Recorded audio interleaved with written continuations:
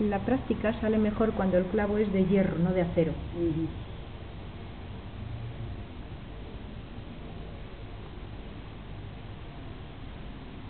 ¿Has hecho una foto? Sí. Para que vibre más.